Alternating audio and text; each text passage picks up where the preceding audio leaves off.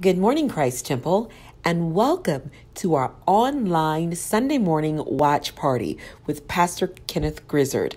Immediately after the watch party, the video will be uploaded to our YouTube page for those who do not have access to social media. Wanted to remind you that there are three ways that you can give your tithes and offering. One is online via PayPal or through our church website. You can also mail your tithes and offering to P.O. Box 60310, North Charleston, South Carolina 29419. Or you can give it in person on Sundays from 11 a.m. until 12 noon. The sanctuary will be open for giving opportunities only. Now join Pastor Kenneth in our Sunday morning worship already in progress. Thank you all so much for joining us. We just want to go ahead and open up with prayer. Lord, we thank you, oh God, for this day, Father. We thank you for all that you've done and all that you're doing in our lives. And Lord, we render these services into your hand, Father. And we ask you right now, in the mighty name of Jesus, that you will speak as you will. You will move as you will. Father, we pray, God, that you will say and do something, oh God, that is life transforming. God, that we will not be the same after we would have stayed in this place with you, hearing from you, feeding from your table. Father, I ask you in the name of of Jesus, let your glory be revealed as your name is exalted and praised. It is in Jesus' name that we give you all the honor, praise, and glory. Amen.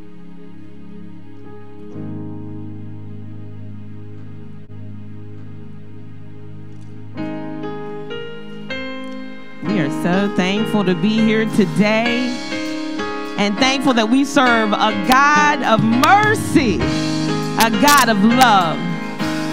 Hallelujah. Mm, your love is like radiant diamonds bursting inside us. We cannot contain. Yes, your love will surely come find us like raging wildfire, calling your name. God of mercy, sweet love of mine, yeah, I have surrendered to your desire. May this offering stretch across the sky. These hallelujahs be multiplied. Yes, your love is like radiant diamonds bursting inside cannot contain. Yes, Jesus, your love will surely come find us like blazing wildfire, calling my name. If you know it, sing it with me. Say, God of mercy love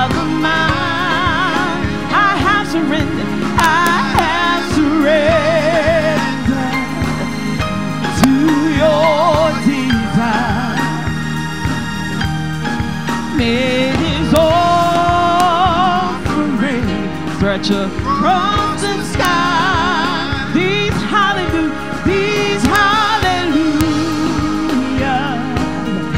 be more. God of mercy, God of mercy, sweet love of mine. Go ahead and put your hands together. I have surrendered, yes, Jesus, to your desire. May these offerings, May these offerings stretch across the sky.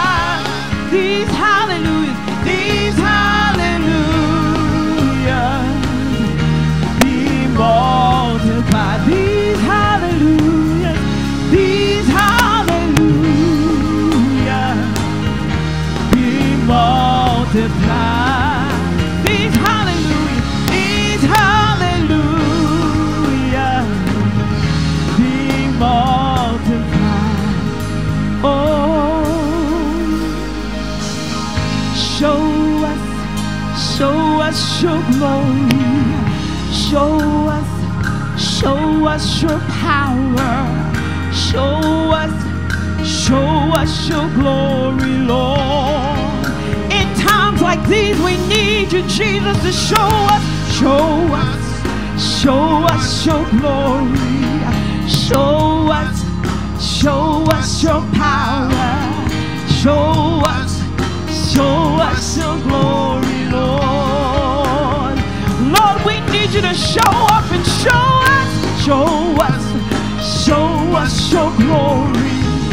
Show us, show us your power. Yes, show us, show us your glory, Lord. God of mercy, God of mercy, sweet love of mine. Yes, Jesus, I have surrendered, Lord, to your desire. Yes, Jesus, may this offering stretch across the sky.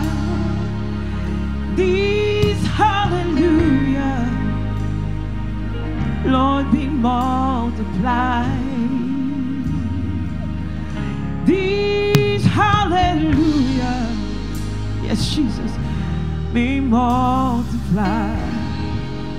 These ha- these hallelujah be multiplied. Hallelujah. Thine the glory. Yes, Jesus. Hallelujah. Amen. Hallelujah. Thine the glory. Revive us again. Why don't you sing it with me this time? Sing Hallelujah. Thine the glory. Yes, Jesus. Hallelujah. Amen. Hallelujah.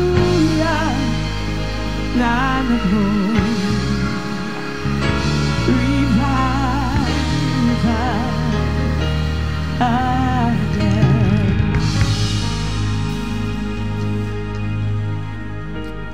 There is a name I love to hear.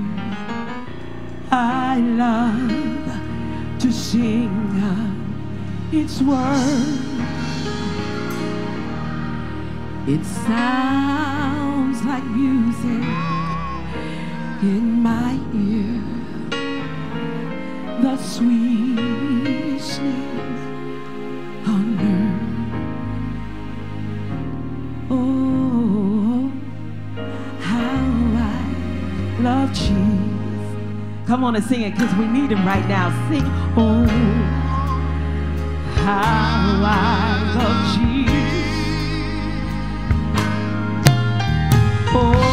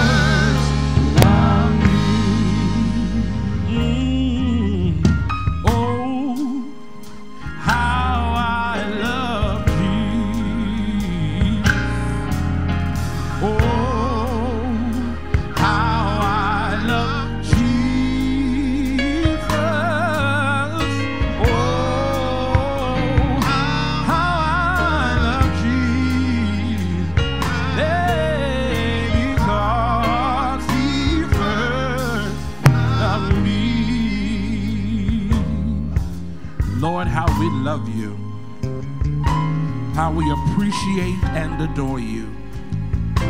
What manner of love is this that a man would lay down his life for a friend? Lord, we thank you today for the measure of your love, the magnitude of how you love us is beyond comprehension. And Lord, we just want to say thank you. Thank you for how you've kept us. Thank you for how you've provided for us. Thank you for how you have protected us. Thank you, Lord, for how you've preserved us. Lord, if for nothing else, we say thank you for being who you are.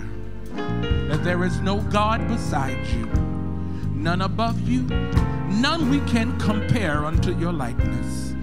And for that, we say thank you and we love you. In Jesus' name, amen. We love the Lord today. He has been so good to us, He's been so kind and gracious to us to allow us another opportunity just to fellowship together. And we honor the Lord for this privilege and opportunity to be able to stand before you, uh, even in a new way a way that God has given us the ability to still uh, stay together, even in the midst of a world uh, epidemic. God is still in control. Amen. And so we are grateful for all that He has done and is doing in our lives. I would like to draw your attention to two scriptures today and We'll talk a little bit about that and move out the way. Uh, we're going to start with Matthew chapter 26 and verse 39, and then we'll go to Psalms chapter 23, verse 5. Uh, this scripture uh, and subject came as a result of a conversation uh, with the Lord, uh, just talking to him about what it is he wanted to say to his people, what he wanted to say to this community.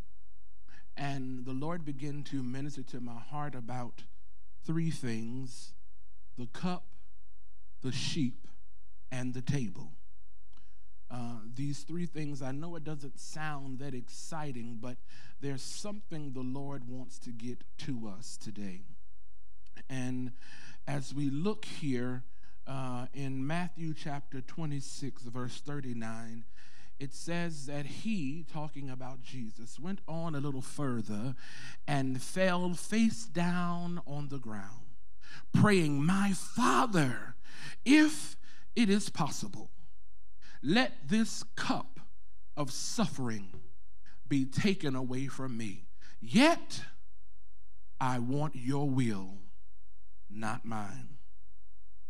Psalms 23 and verse 5 very familiar passage of scripture. And it says that thou preparest a table or a feast for me in the presence of my enemies. You welcome me as a guest, anointing my head with oil. My cup overflows with blessing. And so, as the Lord began to minister in my heart about these three items the cup, the sheep, and the table the Lord began to put into perspective the prayer that Jesus prayed in the Garden of Gethsemane. I have a question. Have you ever encountered a process in life or a season in life where you just ask the Lord, can you let this cup pass? Is there any way that you could just allow this thing just to go ahead and be over? Can you give this assignment to somebody else? Can you can you give me a new family? Maybe I'm the only one that's ever been in a situation or a season where you said, Lord, if you could do anything different, please do it now. And so Jesus is in, he's in this place. He's in this place. And we say, Jesus ask God to let this thing pass when he was the son of God. He knew what would happen. Yes, the truth of the matter is, is even though we have a glimpse at the will of God, it does not mean that our soul or our flesh is going to always be in agreement with the process to get there. And so Jesus finds himself at a crossroads where he is asking his father. He says, The pain and the anguish of my assignment is heavy. Have you ever been in a season where the pain and the anguish of your assignment was heavy?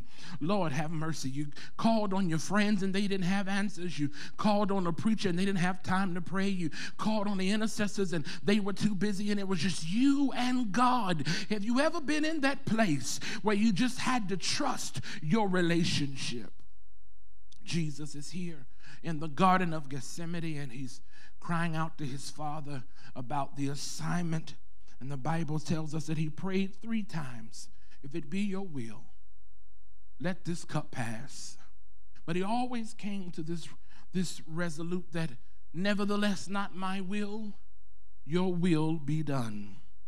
We see that right after this, the Bible tells us that that, that he he was betrayed. So so let's talk about let's talk about the the importance of the table. I want to talk about uh, the Last Supper we understand that in the scripture, the Bible talks about uh, when Jesus sat with his disciples uh, for a Passover feast. And even though we classify it as the Last Supper, we understand that it was not the last meal Jesus actually ate with his disciples. Acts 1 and 4 confirms that.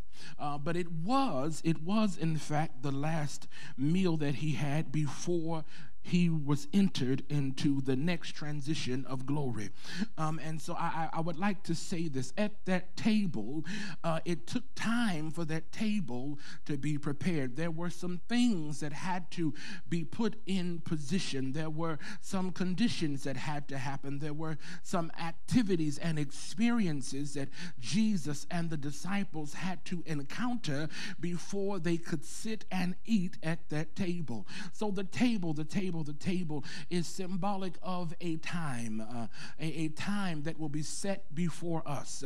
And, and many of us right now are saying, Lord, what is happening in this time? And I'd like to just draw your attention to maybe some things that happened at the turn of the year for you or at the end of last year for you. God uh, has been preparing us for a moment like this. What do you mean? He's been preparing us for a moment like this we don't have enough vaccines, we don't have enough medicine, we don't have a cure for this epidemic that's out here. I'm not talking about the epidemic, I'm talking about the opportunity that is set before us to spend more time with God than what we could have ever imagined. The opportunity to reach God in a new way, the opportunity to desire Him in a way that we have not had to desire Him before. We are facing something that we have never encountered, and it is requiring us to go deeper in our love for God. It is requiring us to go deeper in our prayer life to be able to stay with Him the right way. It is requiring us to do more than we have ever done before, to seek God like we've never sought Him before, so that His glory can still be seen in the lives of His people. We have never faced this type of adversity before, but God has been dropping those nuggets in our heart, those still moments in our heart, those worship moments moments in our heart, drawing us closer to Himself for us to understand that no matter what comes and no matter what goes, He will remain the consistent thing in our life. So we see that the table, the table, the table, the table here, Jesus uh, prepared the table um, by serving his disciples. This is where the church receives their, their ordinance or the tradition of communion and anybody that's been in church any length of time has had the opportunity to uh, experience communion.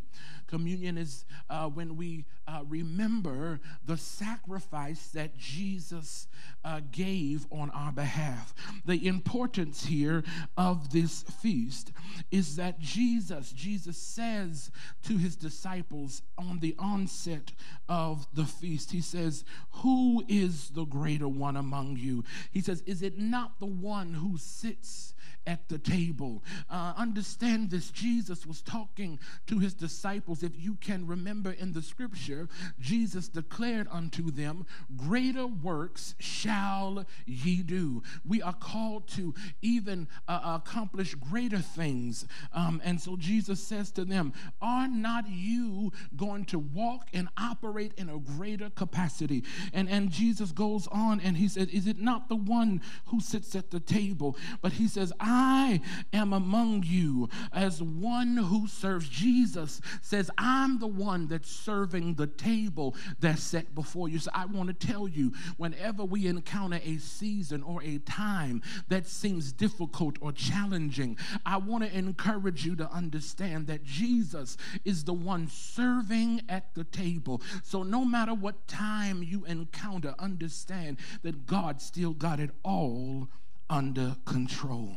Uh, the Last Supper was a significant event because it proclaimed a turning point in God's plan for the world. I want to explain to you anytime uh, a table is prepared for us spiritually, it is an example of a turning point being made in our life. Lord, have mercy. I wish somebody would just shout, It's my turning point. This is your turning point right now. I know you're trying to figure out how in the world is this thing going to work together? How in the world is all this supposed to come together? Let me tell you, that ain't what you're supposed to figure out. The thing you're obligated to do is to be faithful and obedient to God. He'll handle the rest. So, anytime a table is prepared, I want you to understand it is because it marks a turning point.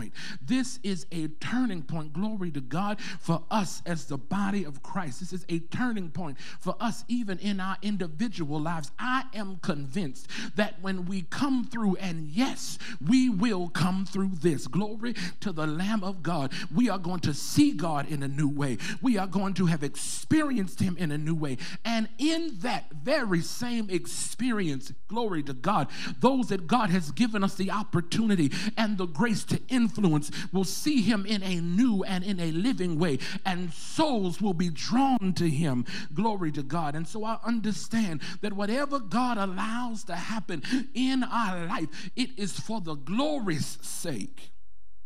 Here it is. We talk about the table. The table. Let's let's now begin to transition uh, to the sheep. God likens us as sheep, and He as the good shepherd. And so Jesus now He prepares the table for His sheep. Can I just talk about sheep for just a moment? Sheep, sheep sheep. God compares us to sheep. Sheep are animals that are herding animals. They they herd together. Um, that's how uh, they're very social. They like to be together. Um, I would say that right now this is a very challenging time for many of us because we've been told we can't do what we are designed to do, which is to be social. And so many of us are struggling right now with trying to figure out how how do we keep ourselves uh, entertained and how do we keep ourselves sane? Because for some people, being able to go to work and being able to interact is a distraction from the things that they've been trying not to deal with. And so some of us right now are dealing with high levels of anxiety. But I want to tell you something God has a way, glory to God, to get us to deal with the things that are stopping us or preventing us from going deeper in Him. And so we see here that sheep now, sheep, sheep, they, they, they are herding animals. Glory to God. And and the one thing about sheep is anytime that there is an attack, sheep don't separate, sheep don't scatter. Anytime there is a challenge, sheep don't break up and run and hide. Whenever there is an adversary coming to a sheep, the very instinct of the animal is that they herd closer together because their protection, their only safety net is that they remain together. Lord, have mercy. So the Bible likens us as to sheep. Why is that so important? Because sometimes, even, even when we are hurting and when we are going through, sometimes the enemy will do everything he can to isolate us, cause us to leave from the place of safety. And it is so important that we understand that when we are going through, that is not the time to run and hide. That is the time for us to get closer together, to, to make sure that, that we cover each other. Glory to God. Because here's what you got to understand about, about predators. Predators prey on those animals that are left out of the group.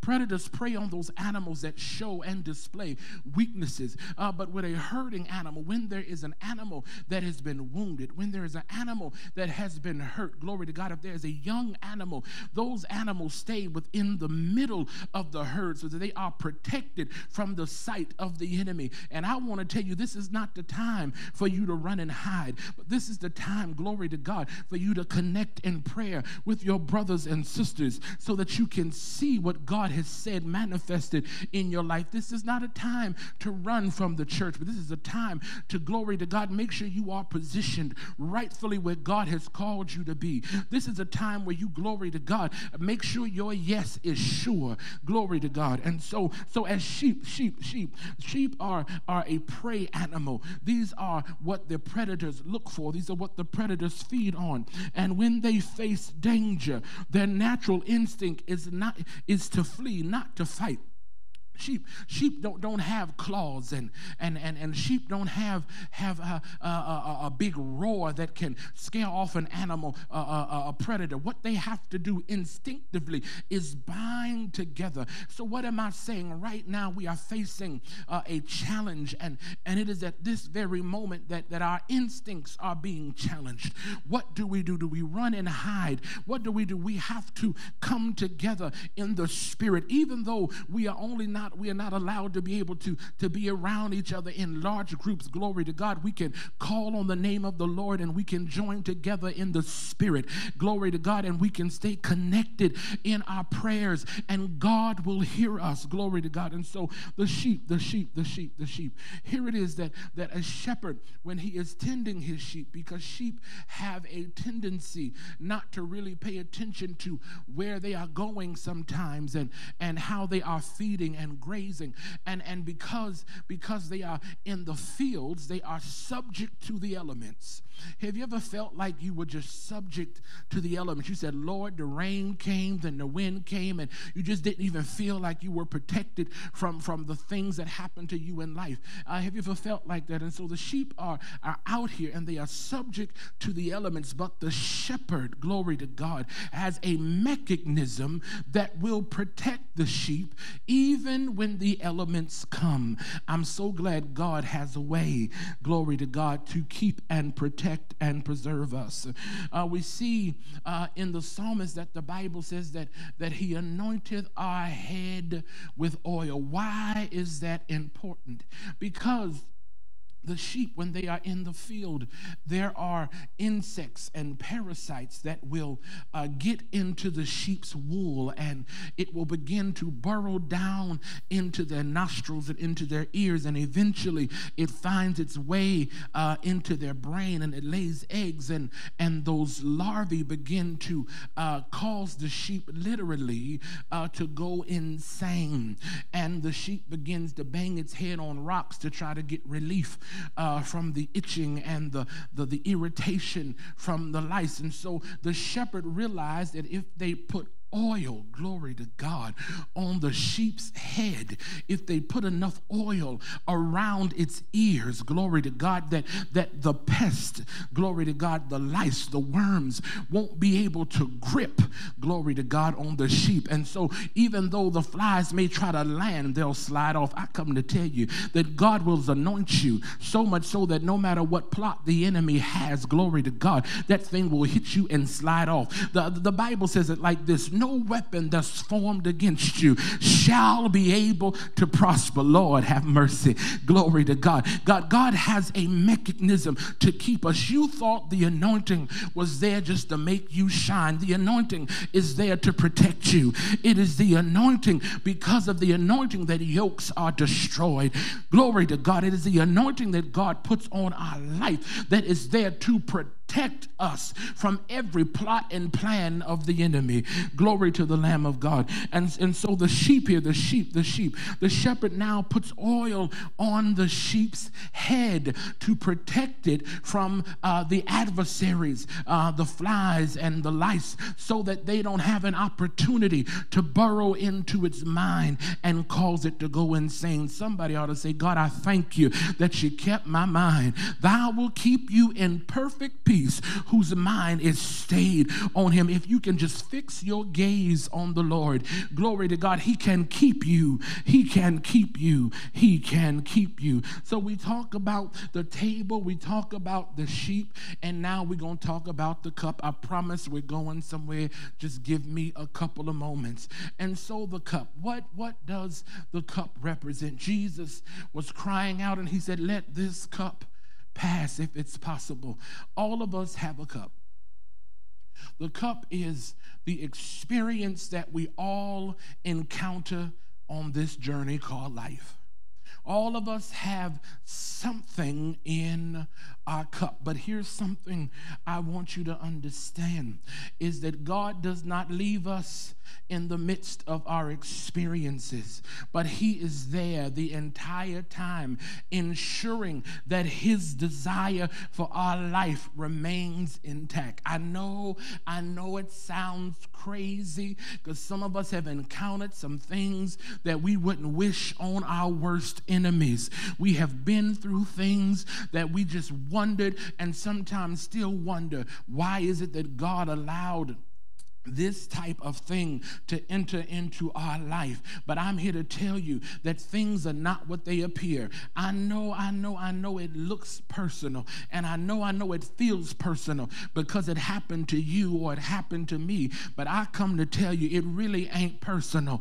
Glory to God. God, God ensured that even, even though you might have went through that thing, His blood covered and kept your entire purpose and destiny intact. That what the enemy thought would destroy you, glory to God, was simply a testimony of God's ability to keep us through anything. Glory to God. And so the cup represents, it represents the experiences that we all will go through. There are some experiences. Jesus had a cup of suffering. We don't want to suffer. Nobody wants to suffer because suffering ain't fun. Suffering ain't something that's glamorous. Nobody likes pain. That's not something that, that, that we, we desire, glory to God, but it comes with the life. It comes with this life. Uh, when Adam and Eve fell in the garden, sin and death entered into the world, and it became a part of life. So, so, so here it is, here it is, here it is. The cup that, that God has given us, the cup God has given us, there is a mechanism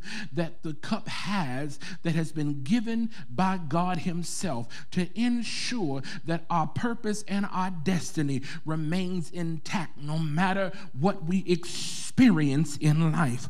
And so I just want to pull your attention to something. When we talk about a cup, if you begin to study ancient history, kings and rulers and wealthy lords all had what they called a cup bearer.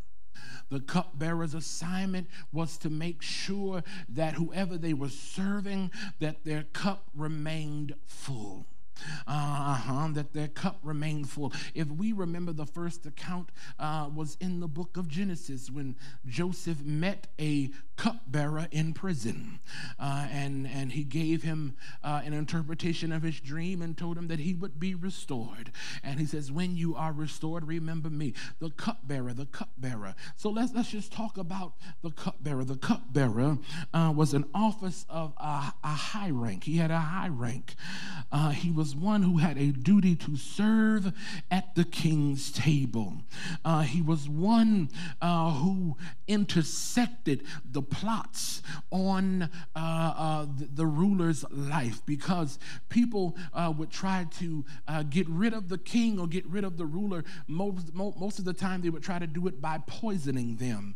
And so it was the cupbearer's agenda, it was his job to intersect the assignment of death death, the intersect the assassination. The cupbearer had a great responsibility to protect the king, in so much so that before the person he was assigned to serve would even drink uh, what was in the vial, um, uh, the cupbearer would have tested it first. He tested it on himself to make sure that the king or whoever he was serving would be preserved, that they would be protected.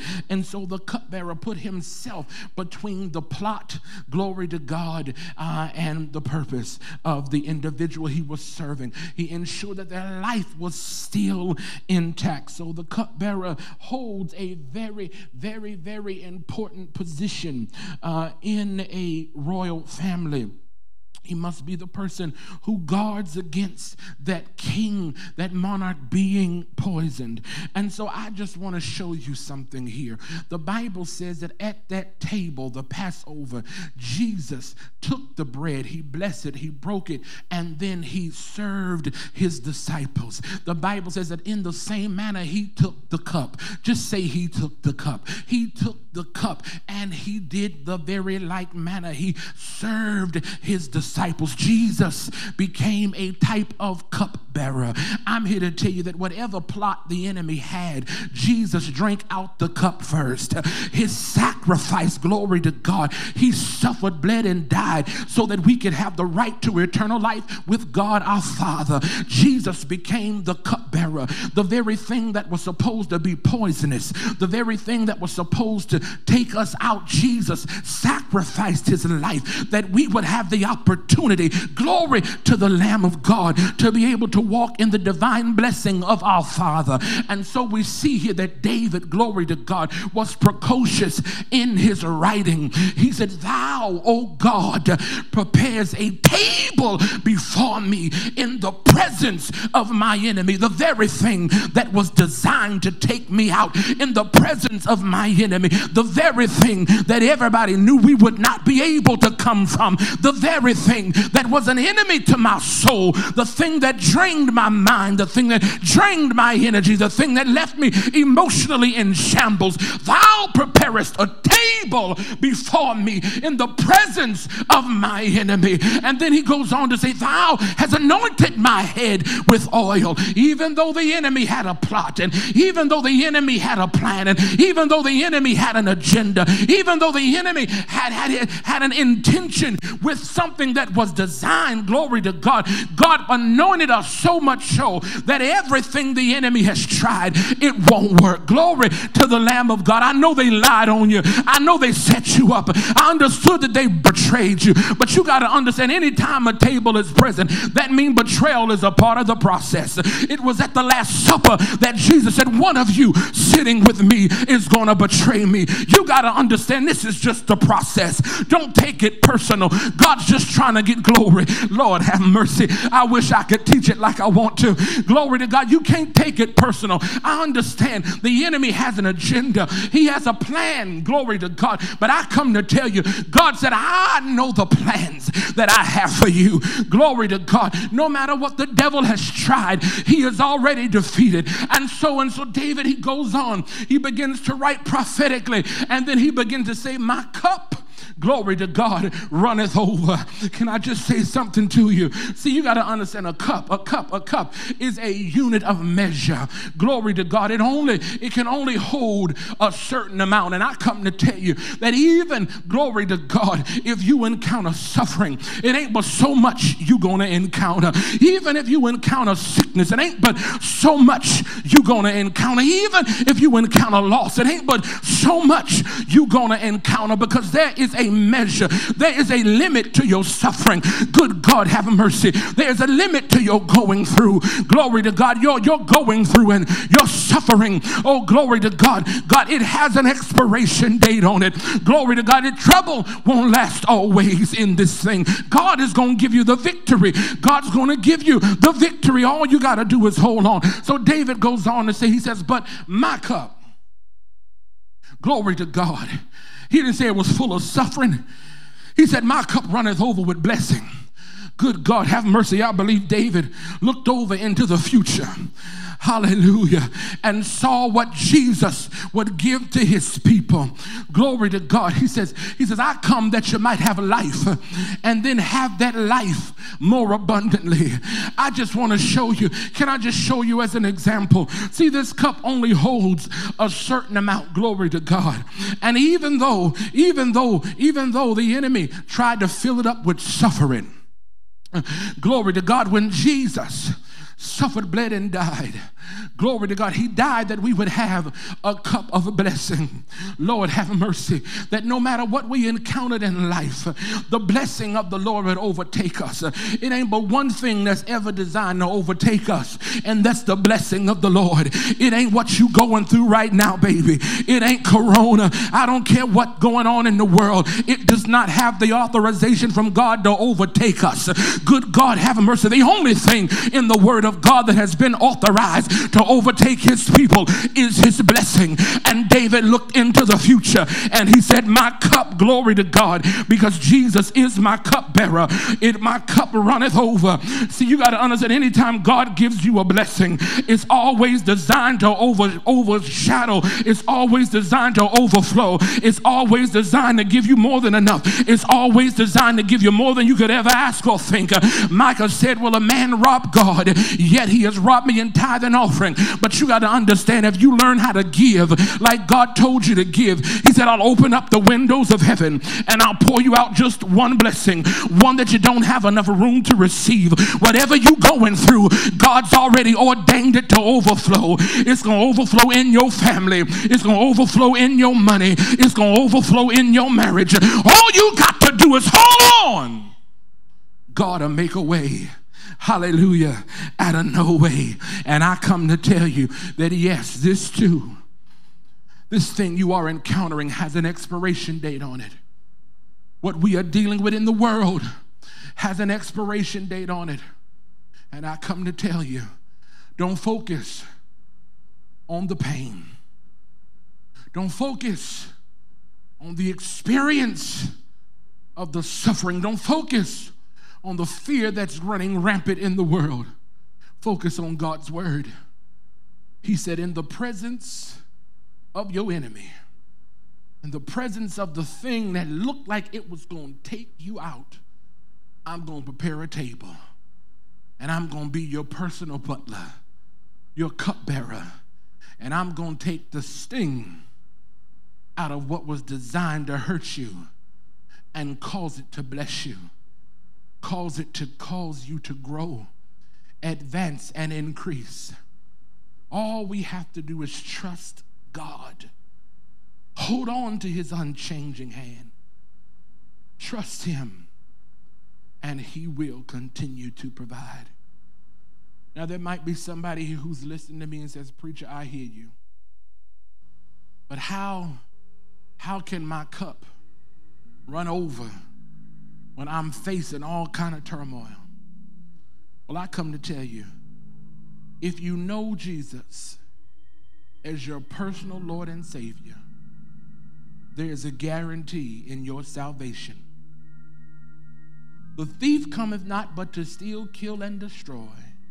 But Jesus said, I've come that you might have life, and that life more abundantly when you receive Him as your Lord and Savior, the leader of your life, He'll give you access to joy unspeakable, full of glory, peace that will surpass your even understanding.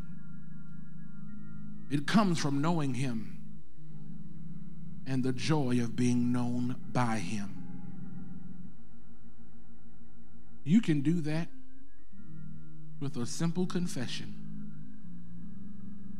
All you have to say is, Lord Jesus, I surrender my life to you. I ask you to forgive me of all my sins. I ask you to save me now with your power. I believe that you died and rose again for me. And right now, I receive your salvation. That's all it takes. And then the Holy Ghost, the Father, and the Son all come and make their abode in you. He'll give you direction. He'll give you wisdom on how it is that you ought to live your life. He'll give you understanding and perspective on the experiences you have already encountered. He'll put everything in its proper place. And you'll be able to say, My cup indeed runneth over. David goes on to say, Surely goodness and mercy shall follow me all the days of my life, and I will dwell in the house of the Lord forever. That's why Jesus sacrificed his life, so that you and I could dwell with our Father forever. Total and complete harmony. I'm here to tell you no matter what you're going through, no matter how difficult and hard it is, God can and will cause all things to work together for the good of them that love the Lord and are called according to his purpose. He and he alone can take what was meant for evil and turn it into your good. He's the one that can prepare a table right in the presence of your enemy. He's the one that will bless you in the midst of those that have cursed you to show that his favor is on your life. I love you. And I pray that you receive the love of Christ today. No matter what you're encountering, no matter what you're going through, God loves you. And with a loving kindness, right now, even right now, receive his spiritual embrace. Let the arms of the Lord just wrap around you right there in your home. Right there on your job, wherever you are, just and let the Lord's embrace fill you with his joy and his peace.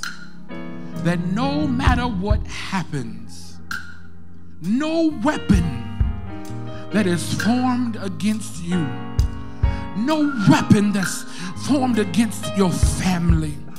No weapon that's formed against your body. No weapon that's formed against your mind. No weapon that's formed against your marriage shall be able to prosper. Father, I speak your peace in the, to the home of every person that hears the sound of my voice. I speak your joy, your supernatural joy that gives us strength into the lives of every listener now. Father, I pray that you cause your children in this very moment to shine brighter than they've ever shined before. Oh God, that someone who does not know you will see our good works and then glorify our Father which is in heaven. Father, let someone come to know you that through our going through, through our life living, Lord, let someone see that you are still faithful, that you are still a good God.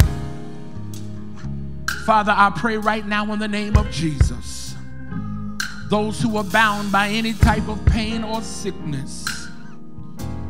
Father, your word declares that your ear is attentive to the cry of the righteous. You said the prayers of the righteous availeth much. So, Father, we touch and agree for divine healing right now in the name of Jesus. Father, we pray for supernatural releasing of your miracle right now into the home of every person that is listening.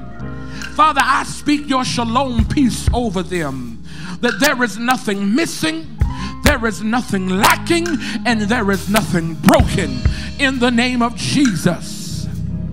Father, we thank you for supernatural increase and advancement.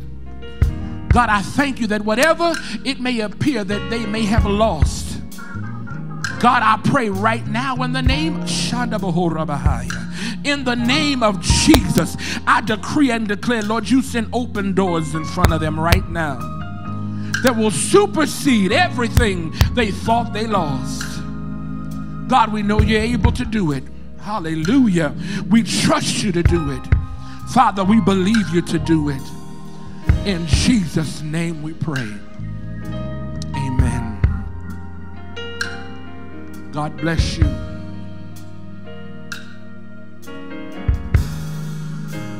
Thank you so much for just staying with us. And pray that the Lord continue to bless you. We pray that He continue to keep you. And I just want to tell you this no matter what you encounter, understand that God is still in control. God loves you, and so do I. Please stay with us. You can follow us on Facebook or Instagram, the Christ Temple Church. If you need to give, you can follow us on PayPal. All the instructions will be listed there on our website. We just love you and we pray God's blessing upon you. Please stay tuned for our announcements. God bless you.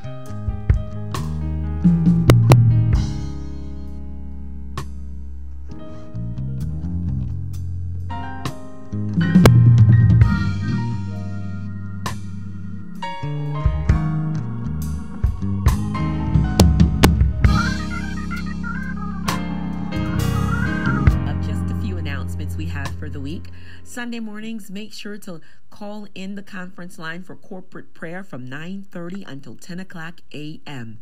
And then switch on over to our Facebook page where you'll be able to view the watch party of our Sunday morning service. Then again on Mondays, another opportunity for us to connect via our conference call line for noonday prayer. On Wednesday nights, conference call prayer begins at 6:45 p.m. And then at 7 o'clock, switch on over to our Facebook and you'll be able to watch party our Wednesday night Bible studies. For additional information, please follow us on Instagram and Facebook. We will continue to update you as things begin to change.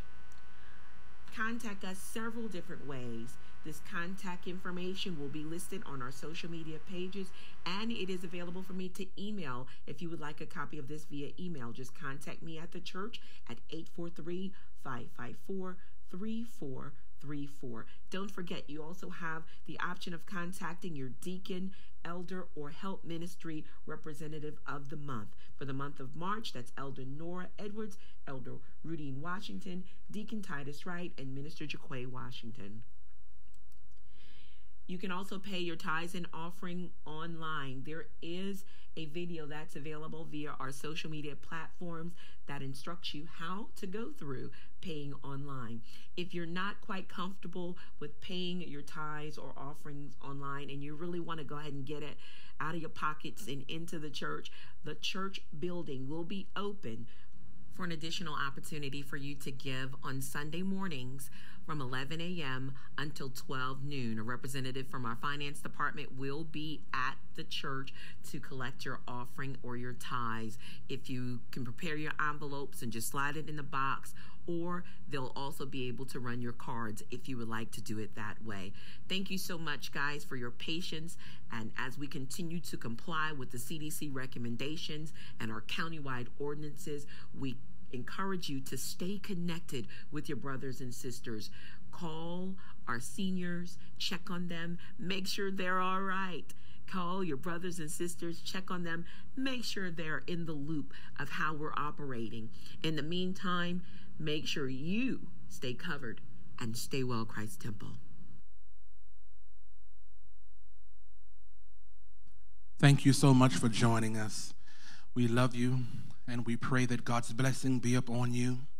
In the name of Jesus, we pray that his divine health be upon you, that his peace overshadow you, that his joy overtake you. In Jesus' name we pray.